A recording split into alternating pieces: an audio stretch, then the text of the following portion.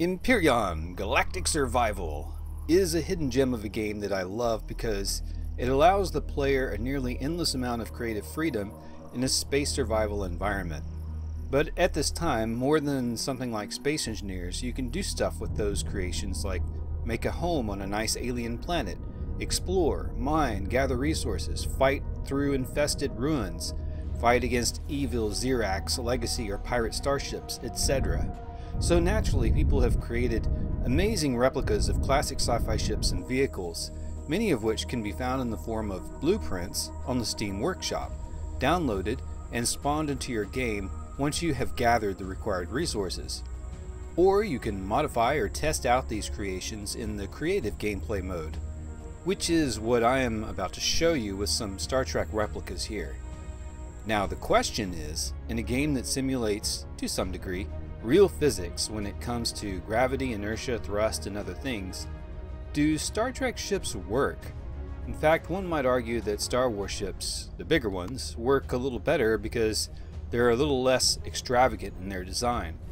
But Star Trek ships are cool, more like works of art. So then in this game that simulates some physics, does form follow function, or are these ships non-functional replicas?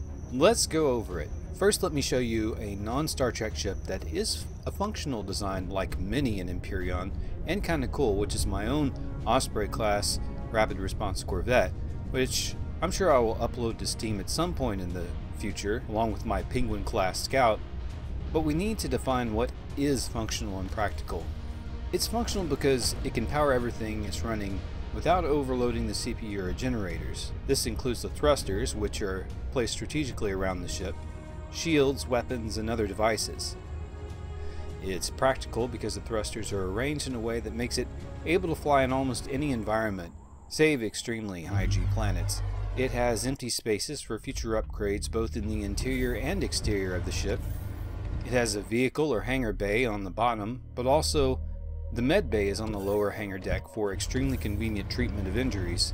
Last but not least, you don't have to traverse endless corridors, doors, and airlocks to get from one end of the ship to the other. I don't know why in sci-fi it got into people's heads that the interior of a spaceship must consist of an extravagant maze of corridors and bulkheads.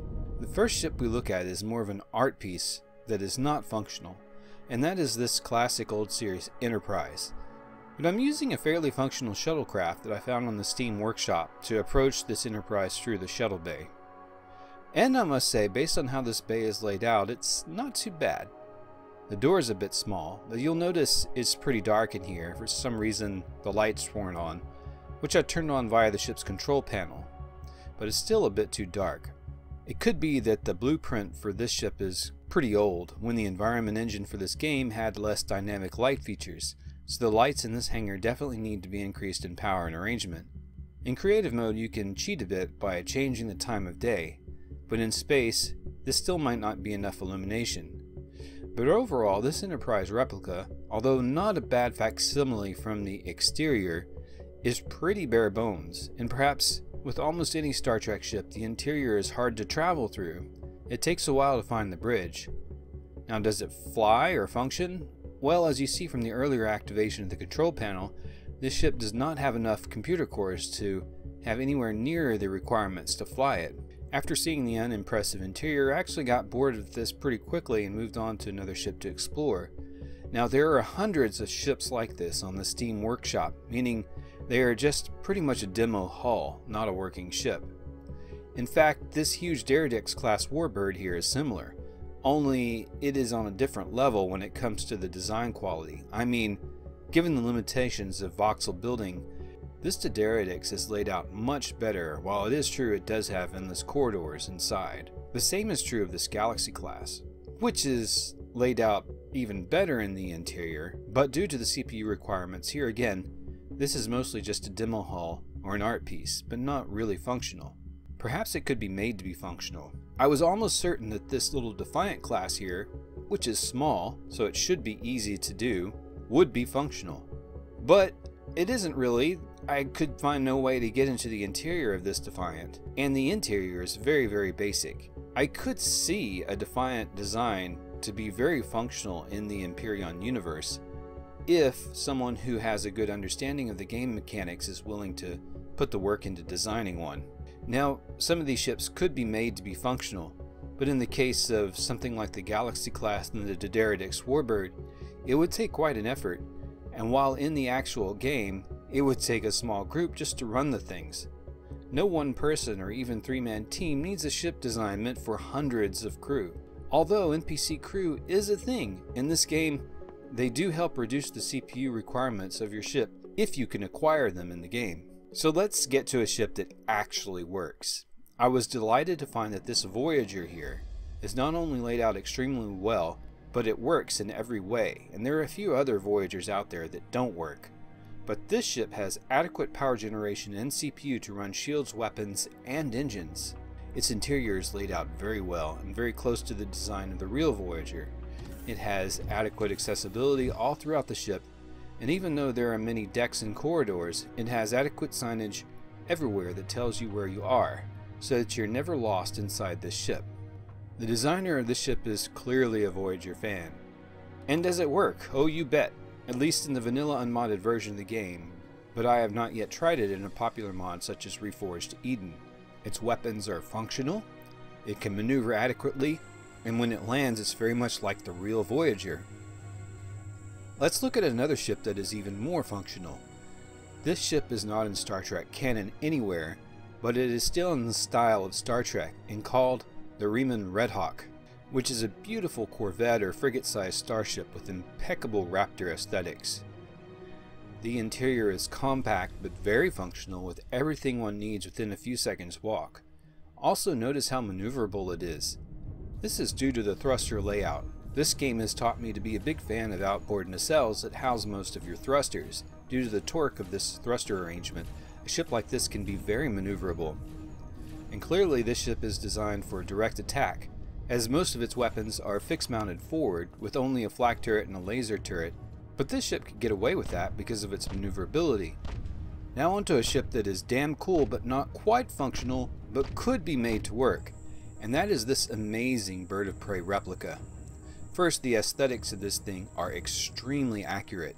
Someone went through a great deal of effort to make this look like some kind of authentic Klingon bird of prey. So the interior must be bare bones and ugly, right? Well, no, not at all. I mean, look at this bridge. This looks like a real Klingon bridge. That's not easy to replicate. So the layout of the interior must be untraversable, right? No, not at all. It doesn't have hardly any corridors to get lost in. It's all open and functional. In the back there is a massive hangar for probably multiple vehicles. And the rest is all purely utilitarian and Klingon through and through.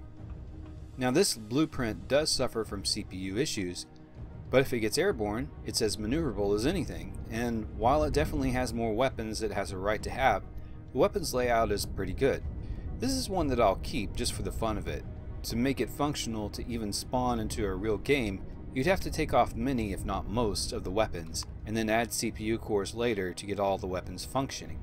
But before it's really combat ready, it would make a fine mid-game vessel for any number of roles. Alright, we're going to end with the maestro of Empyrion designers, the Kut'Luch Bird of Prey by the great Jeff Randall. I mean, look at this thing. This looks like it's not just another Empyrion ship made out of blocks, but a real Star Trek ship. It has that predatory Klingon aesthetic, bristling with weapons. As you can see, as you can see, this double ramp on the back makes it easy to board. As soon as you walk into this area, the pragmatism jumps out at you with the med healing chamber, armor locker, and O2 station, all right there. I'll look at the control panel to see if everything is in order, and what? You're short on CPU? Also, I found later that the generators are missing, but Jeff, of all people, but the ship is advertised as a Reforged Eden ship, meaning it's meant for the Reforged Eden mod, which has slightly more challenging but fun ship design elements in my opinion. And there I found it does have a generator alright. It's a damped fusion reactor. This would normally be on ships that are much larger, but hey, this ship is actually pretty big once you start running around the interior. And what is great about this is that it has little guides here and there, recommendations about how to outfit this ship. A blueprint like this is not really meant to be functional right out of the box. It's more of a recommendation of optimizations. Just like any blueprint, you should spawn it in creative mode yourself after downloading it and make modifications that suit your needs or take off items so that you can actually spawn it into your game and then acquire the recommended optimizations later. What is also nice about this design is he's left many open slots all over the interior for various upgrades such as shield capacitors and such, which exist in the Reforged Eden mod. Does it fly? Why, yes it flies. And it lands. And it has spotlights. And this is definitely one of my favorites that I'm going to keep, if nothing else for a study on how to design a very nice ship. So in closing, yes, Star Trek ships can work in this game. Now is it easy to make perfect replicas that work? No, not at all, but they can work. It may be easier to make a new Star Trek design of your own, kind of like the Red Hawk, one suited for this game environment, instead of a perfect replica of say an Enterprise or a D'Deridex or a Galor class. Now I have to admit, there are a lot more blueprints out there on Steam that may be amazing and I didn't have time to test, or I simply may be unaware of some that are really good. So if you know of any really good Star Trek blueprints that work, please mention them in the comments. Well thanks for watching everyone and just an update, I am making progress on the upcoming video about the Red Star Destroyer, which some of you know of as the Errant Venture, the Star Destroyer that was captured and run as a smuggling base by Booster Terrik. I will be posting progress on that in the community section of my channel, and you'll get updates on that if you subscribe to the channel.